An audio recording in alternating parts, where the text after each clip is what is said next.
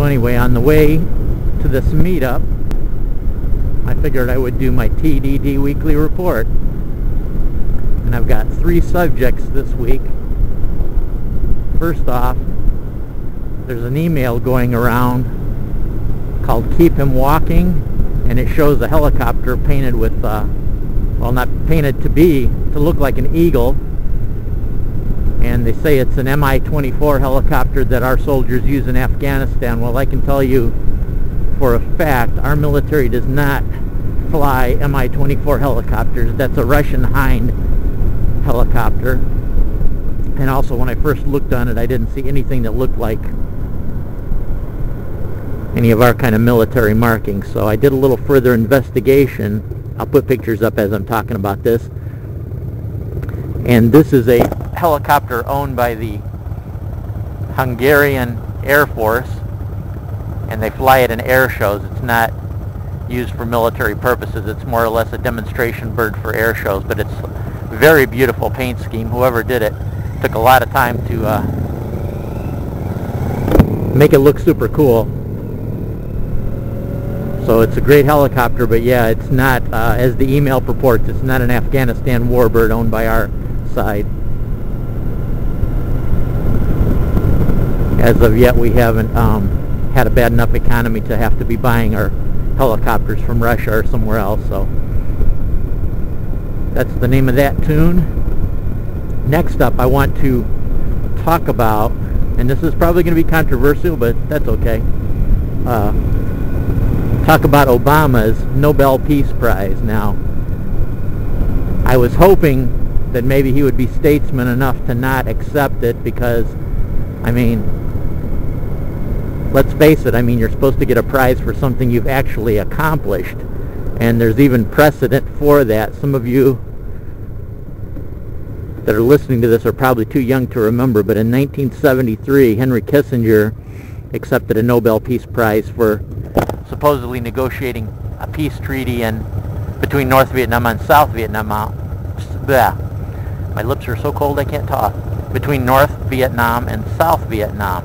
Well, it was actually jointly awarded between him and a, Viet, a North Vietnamese general that were both the negotiators for the peace treaty that actually never ended up in peace. And uh, I don't know if I'm pronouncing it right, but the general's name was Lee, I believe it was Lee Duc Tho, or Le Duc Tho.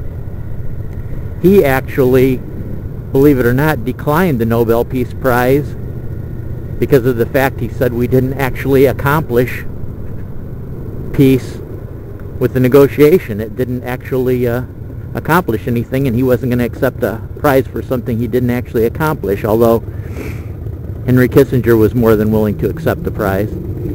So I was kind of hoping Obama would be statesman enough to say, wait a minute, you know, if you're going to give me some kind of Nobel Peace Prize, wait till I at least accomplish something to deserve it. But, I mean, I guess that's just your uh, typical politician rather than a statesman.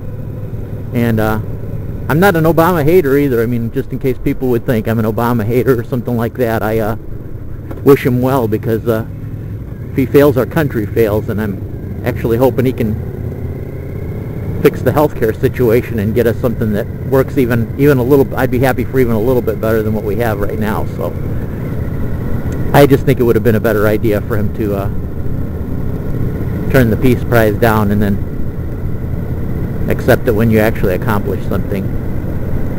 That's kind of been a problem in the Chicago school system the last 10 years. It's like we're so worried about the students' self-esteem that we award prizes for just about no effort in any way. So we end up having kids with uh, very high self-esteem but haven't accomplished much of anything. And then when we do have a student that accomplishes a lot, we have to tone it down because the other students might feel kind of bad about it. You know, it might hurt their feelings if uh, one of the particular students excels at something and then gets all the awards and the prizes for doing it. You know, we don't want to hurt the feelings of the kids that didn't accomplish anything. But that's my two cents about that. And finally, my movie review of Zombieland. Now, I watched Almighty Vlog's review of it, and I also, on my last Dumpster Diver, posted the amazing Atheist review of it. Now, Almighty Vlog didn't care for it at all. The Amazing Atheist thought it was a fantastic zombie movie. I'm kind of uh, middle of the road on it. It's probably out of the three spoof zombie type of films I like, it's probably the, the middle one, number two, uh, ahead of Shaun of the Dead, but nowhere near as good as if you want to see a good zombie spoof movie, watch Return of the Living Dead. I'd give it, now I, I'm somebody that'll watch a zombie movie even if it's not that good, so if you're looking at it from that position and you really are into the zombie movies, I'd call it three out of five stars. Uh, watch it if it's if you can get the bargain matinee to it. Better cost, go watch it. Otherwise, if you got to pay full price, I'd say wait till it comes out on DVD and watch it that way. But Zombieland, some things that it was kind of lacking, and after watching the Amazing Atheist review, I kind of expected it was going to take zombie killing to a new level as far as the amount of it and new and different exciting ways to uh, kill zombies, but it never even came close to that. I mean, it's not like you're going to watch it and not see zombie killing. There is, you know, it's a zombie movie, so there is going to be that, but it does not push the cutting edge. And also, in the middle of the movie, after the cameo, I won't tell you about the cameo, but that is a really good highlight of the movie.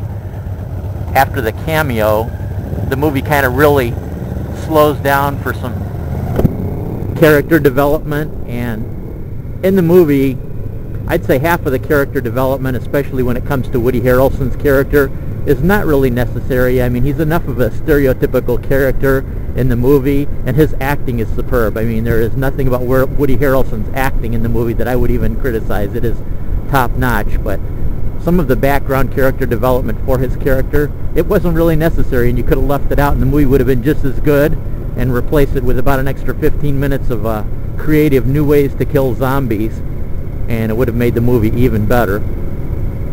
But it does too. It, it has a redeeming value right after the slow part. It picks up again, and the last 15 minutes of the movie are really good. So it, it does have a, a good solid ending for a zombie movie. So, and let's see, what was the other thing? Two things. Character development, zombie, maybe, well, that's all I can think of right now, but basically, if you're somebody that loves zombie movies,